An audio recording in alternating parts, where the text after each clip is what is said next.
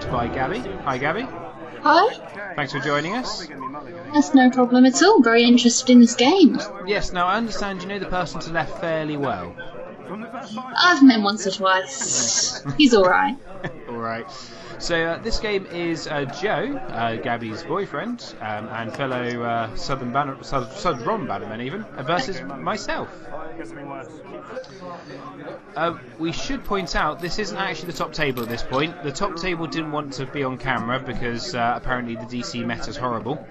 And Yeah, that um, was one of the top secret tech, wasn't it? Trying It to keep was. that Tyrell tech secret. It was. We came. We came to a deal later on in the cut, um, and uh, the other game would have been Ryan again. And as I wanted to slip my wrist after watching Ryan twice, I didn't want to put Yeah, to give some, someone else a bit of a spotlight. I mean, Ryan hogs it all. Well, it's also the hour it takes for his game to play. Oh, never forget Blackwater 2016. yes. Oh, I've, I have now watched those videos. So, uh, what's it? So Joe is using uh, Greyjoy, uh, which is not normal for him. No, he's gotten recently into Greyjoy after I got into them and he kind of stole them from me. That's the story I'm going with. No, it's relatively new for him. He was a Night's Watch player, then he's a Stark, but he's really Greyjoy focused at the minute and he's really having a good lot of luck with them, so. So, did he become a start player because he wanted to win games? Yeah. I, he loved his Night's Watch, but I think there's only so much you can take. There is, there, there absolutely is. So um, I, I'm also using Greyjoy, sort of, and I'm using Lanni Kraken. Um, I also have bitten the Greyjoy bug since this though, and I've been really enjoying my Greyjoy deck. Yeah, you can't deny they are a lot of fun. It, yeah. Um, although I've gone for the, uh, I'm probably preempting. I've gone for Winter Lords of the Crossing. Fair enough. Um, Yeah, is Joe Lords of the Crossing? I can't even remember He this is. one. Yeah, okay. and you see that com- the, the total play there of discard of only taking off the top seven cards just to wind them up. Very, very smooth move. Now, um, do kind of wish I'd probably actually had uh, edited a little bit of this out, but you know, it's been nice to chat. it's probably almost double the length of the game, in all fairness. Uh,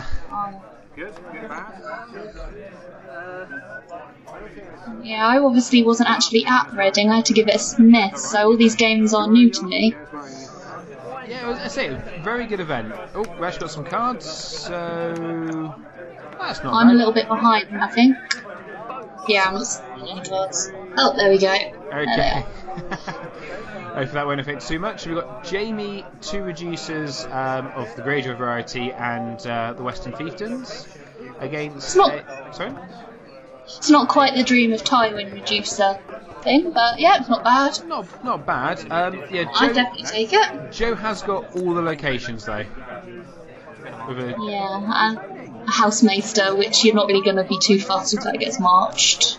I, no, I almost I did think about it, but I did think well, there was there was a little point. Oh, I did do it. Okay, I don't remember doing that. That was a mistake. Yeah, not really worth it in that situation. I think he probably did that on purpose to try and almost get the mark out of the way. Um, also, they see there I've uh, for he's drawn calm, and for some reason I put the um, the cl- military claim on my one. Well, that's not quite how it works, but whatever floats your boat. Yeah. His boats at this point. I'm trying to remember what I had in hand. I think I didn't have a very good uh, starting hand, as in I didn't have any big characters. So that's what probably why I didn't. Um, I, did, I just went for the march instead. Getting more of those reducers out. Say that's not too bad. The Hound, Kings Road, Iron Mines. In case he gets the oh he's got the sea stage yeah. Yeah. Big on those kill events and on kill tech in general.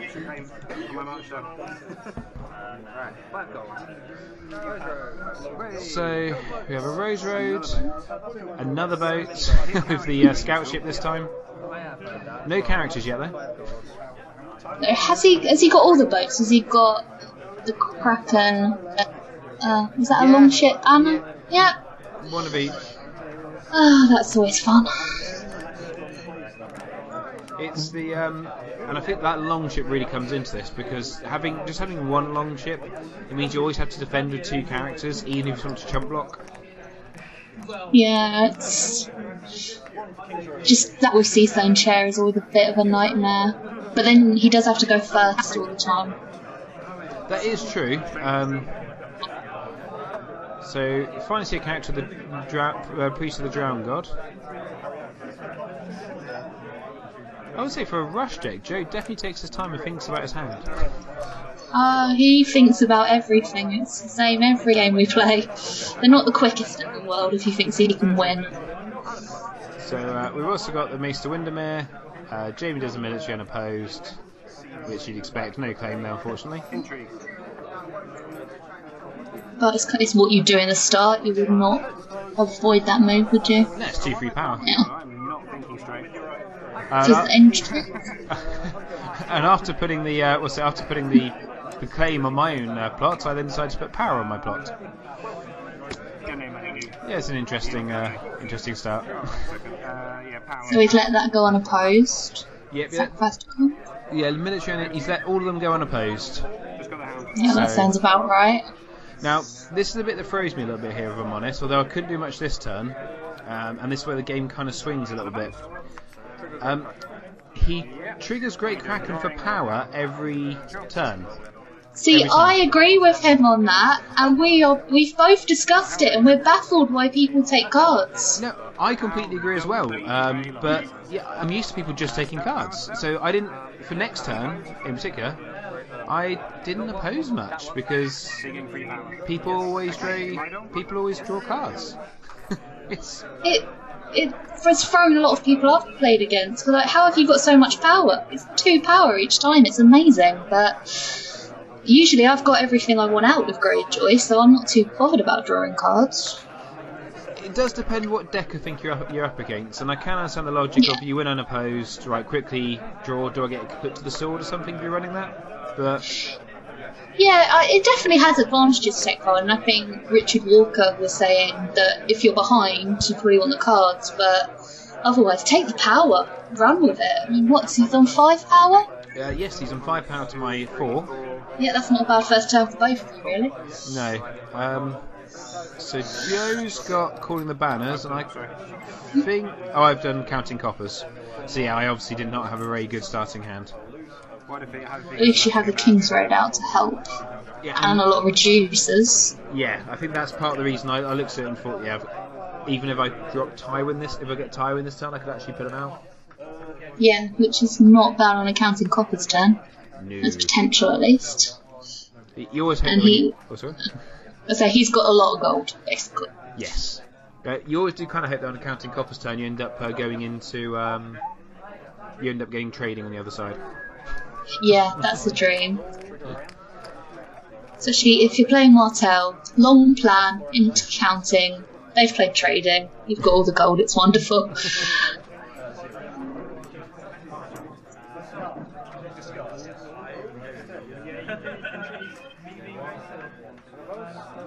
So Joe's having a bit of a thing. I'm pretty sure Joe's going first. I don't think he would have made me go first. No, I imagine he does. Like, I mean, you would go first if you got raiding long longships out. Um, I I would say the first par- the first player token I have, which is now in the bottom right, which I never remember to use, Uh, just in case I which should be Yeah. indicating this. I think we've got one of those as well, and I don't know where it is, but it's somewhere. It looks pretty. Yeah, uh, prettier than the ones from Nationals that I think they're giving out. Two gold left. Yeah. Yeah, not looking forward to that. Not that I'd win it, but you never know. You. Right, so that's Asha. And and and the uh, Salty Navigator. One, two, three, four, Yeah. Asha's a brilliant card. You can't really go wrong with her if you can pull her off. So So she's just standing constantly. we've got the mountain there on a counting coppers turn, and I the Lordsport Shipwright to nil the raiding longship. That's that one, sorry. Um, That's not bad at all. No. You've got to have a mountain and a counting coppers turn. It's the dream. It's not quite. It's not quite a Tywin, but it's pretty damn close. Now, now this is obviously where I'm, I'm also trying at crossing because you know crossing's fun. Um, this is where this first challenge, though, especially he's lucky I haven't got t- Tyrion, but I actually I was playing the games a lot against Tyrion with Crossing, and you really don't do it first, but you also don't really don't want do the intrigue last. Yeah. Don't really want to do an intrigue if Tyrion's out, sadly, but But you have to. Well, you don't have to, but you kind of Yeah. want to. yeah, definitely. So intrigue of two, Unopposed. unopposed, and he's going to take another power.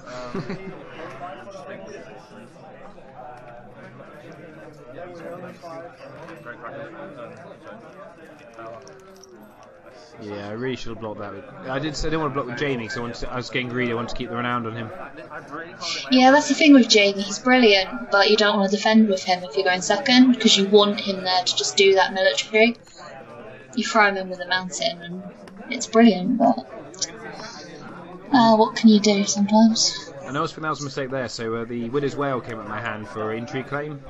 Really should put that on a character. Did you have any gold left? No, you didn't this time, I did you? didn't this. No. I didn't this term, but I think I'd rather maybe rather than doing the Lordsport Shipwright, I could have put it on Jaime, and then he can't be um, knelt out with Longship. Yeah, no, that is a good point. But we all make mistakes. We don't think these things through at the time. No. What was the stealthed power? Yep, stealth power, stealthing past the mountain. Nothing I can do about that one.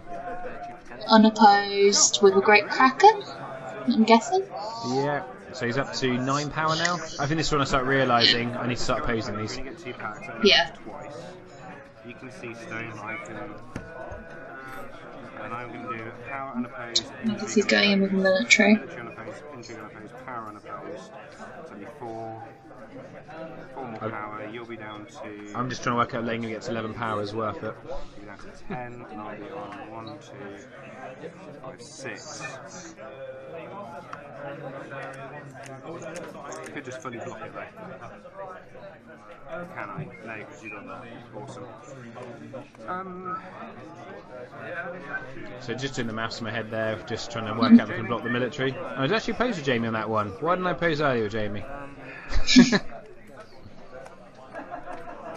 How much was he uh, doing it for? I'm surprised you Um, didn't go with the mountain. uh, he self the mountain. Oh, right, of course. A thing. So he's going to put to the sword someone. Uh, uh, which I block with the iron mines. And then, um, so yeah, so that was, it was a strength Okay. 10 military. Okay. Obviously, he would have got the extra um, crossing bonus off of that. Yeah. him more power. Hey, you can't, no. Sure. So uh, the mountain comes in with a big military, unopposed. And we've got pillage. And it's Euron. That's not bad at all. That's a lucky pick. It's one of those things though, it didn't affect the board then though, so in some respects yes it was good, but at the same time And then we are retired You haven't know. been against. Yeah, you haven't been against him playing Euron with Seal of the Hand though. He's a nightmare. I can see that, yeah. I did have fun the other night they were getting Euron out with, with Pike. That's always nice. It was a fun combo. When I was playing my terrible Renly decks, he managed to steal Highgarden and the Arbor, which was nice. I was like. Who's playing Tyrell here? So something the best time I did that was I stole the wall and just stood there with all my Oh, Greyjoy stealth going, come on Night's Watch, come and take it. Oh, I won't attack. It's so cruel to do that, but you can't not. Sorry, I'm still thinking. So yeah, so at this point I'm kind of thinking I need to try and stop this stop power gain this turn, uh, otherwise it's all going to Yeah. rush ahead. Um, Yeah, you can rush if you're not careful at this point. It's got two stealth characters. And a noble cause is not a good sign with Greyjoy. no, so he's got I no. think I know what might be coming. Yeah, I've got Balon. Um, do I let him go first? No. 11. Well, needing that doesn't make a difference, does it? I don't know why I'm needing the. I'm making a mistake there. I don't know why I'm needing the raiding longship because it works if you go first. That's a mistake. Oh well. That's what playing six games does to you. Yeah, it's always hard to remember that. That fact throws a lot of people off. There's Tywin. Yeah, we got Tywin out, so uh, and my own Asha. Over to you. Okay, so that's going to help you against a bit of the stealth as well from your own stealth character. It's always a nice addition. Probably, if anything, I might prefer Tia on setup, but Yeah. I think that would, would have been better for me. But yeah, I don't know why I knelt the raiding longship there. That was a big mistake, but oh well. Live and learn. Was there a better option? I suppose the Iron Fleet Scout. Probably, but if he gets Euron out, uh, not Euron, if he gets Balon out now, which I'm gonna say sneaky thing, that might happen. Um, see, that's the thing. I could have waited there and stopped the um, Yeah. stop the King's Road. Okay. Yeah, that's always a nightmare when that happens. So we've got a Duke's Balon. Yeah. Yeah. Everyone's favourite sight in the game, a duped character. Balon is always an incredible character. I think the new version of him coming out can't compete. No. Oh. Syrio, wonderful. So everything can now have stealth. Because the only character that doesn't have stealth, Siri can give stealth to. Oh yeah, because of course he's got the Great Kraken out, hasn't he? Yeah. Ah, I see where things are going now. Yeah. See, any actions? Farrell is a, still one of the best neutral character cards out there. He's one of in almost all my decks. I love him. I do wonder if he might, Greyjoy might be using him a little less now because of. Um, yeah, Your point well made. So yeah, just yeah, try, just try stealthing there with Asha, which was really stupid because everything's got stealth. 15. Sorry, that's a very good point well made. 9, 10, 12, 13, 14. So I think I tried going for a massive military just so he tries to try and kneel out to stop a foot to the sword. Oh yeah, he's got that sneaky gold left. I also have sneaky gold left, so I'm pretty sure I'm. I can't remember what got it in hand, but I'm definitely representing a put to the sword. Yeah. Sometimes the threat is enough to make someone defend Mm. for more than they'd want to. It's my favourite tactic, especially playing Targaryen. Leave one goal aside, let them think you've got Dracarys. Yes. Always works. Except when you get the guy who goes effort and uh, then it doesn't work. Yeah, I suppose fortune favours the brave and all that, unfortunately. So. Decided to go for 15 military because I, I think again I was trying to leave Asha back for the uh, defence because she obviously she got Yeah. stealth. You won this turn. I'm, I'm just thinking I think he's won this turn, which um, completely comfortable with that? You've, you've, I think you've definitely won this turn. You've got too much stealth. You'll get another three challenges. I'd also say uh, at this point, also Joe's only three and two, and his chance of making the cut were quite slim, whereas I was five and four and four and one.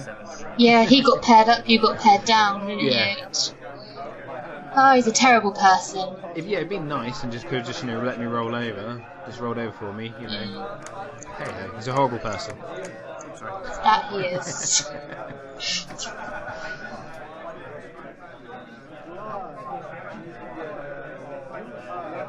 But so he did really want that Stark playmat. That is very true. I have been hearing about that non-stop for all the tournament season. Okay, That's all, very important to him. in all fairness, I really wanted it as well. Um, It is amazing. It's an amazing, amazing piece of art. But yeah, I think, I think now he nice- won't put it down. No, he won't put it down. Um, I think it's nicer than the um, Nationals one, What is the Nationals one? the Iron Throne. Oh, the Iron Throne. Yeah, I don't really like that one. I'm not too fast. It's alright, but it's not, you know, Robb Stark, uh, sorry, Ned Stark good. Yeah, I mean, I even think the Store Champion was a bit nicer. I love that one. Yes, that's a really nice one. So, sorry, Dicky guys, just trying to kill time while Jay makes up his mind what to do. It is quite an important turn in his defence. Okay. So I'll be interested because I've tweeted this jet quite a bit since uh, since uh, reading, so I'll be interested to see how, how this actually would fare now. Now, I know he's made tweaks to his deck as well. He's changed it to a banner deck, and it is not fun to play against. I win. Yep. No reaction So- He defends for 11, stop them stopping the foot to the sword. Takes the Burn Menace claim. Yeah, it probably does make sense. And nothing on pillage. Two gold. Even though, like you're saying that, I'm still a little scared.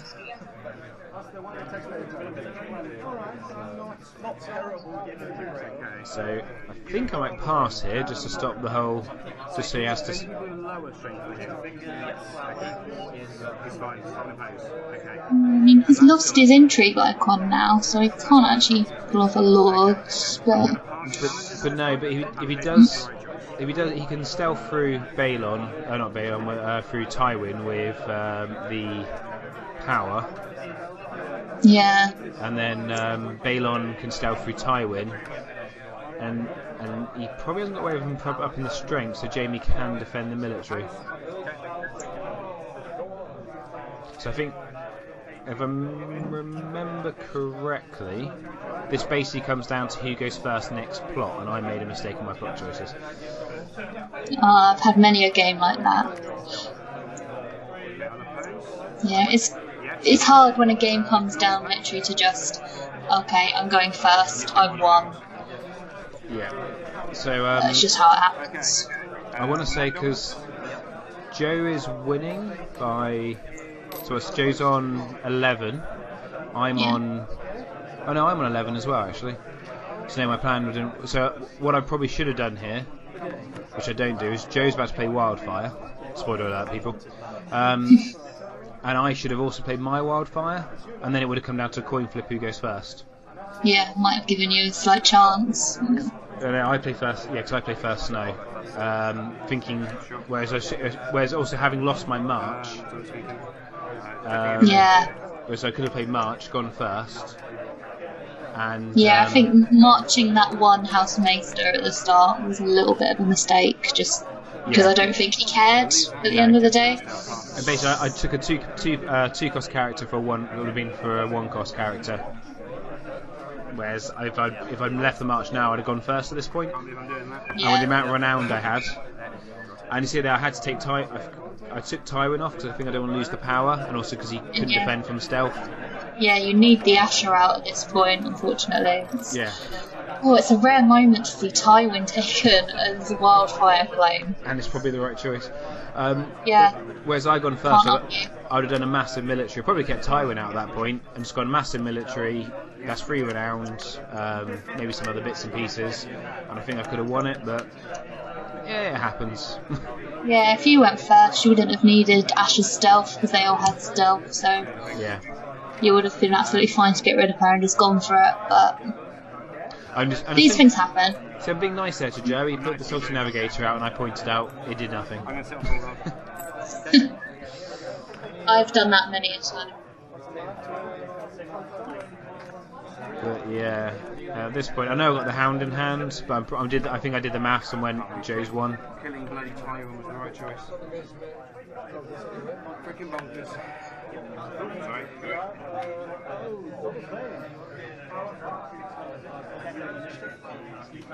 So I think so.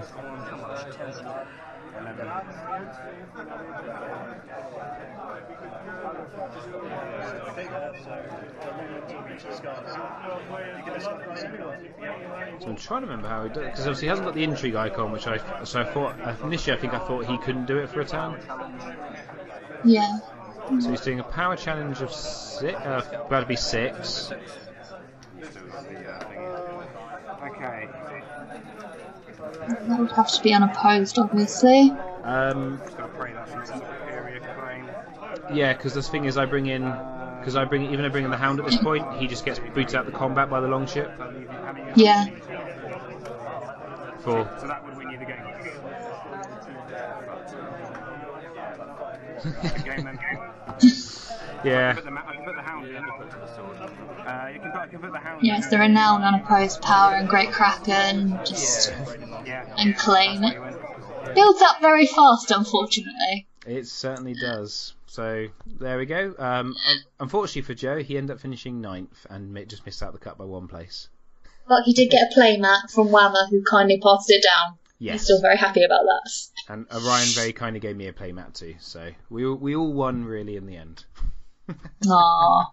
and I just I steal Joe's when I want it, so it's all good. well, thank you for coming on, Gabbi. No problem at all. I say next up, guys, we have the top eight, which is Miguel versus uh, Matthew, I believe, uh, who uh, was at his first ever tournament. Come back tomorrow.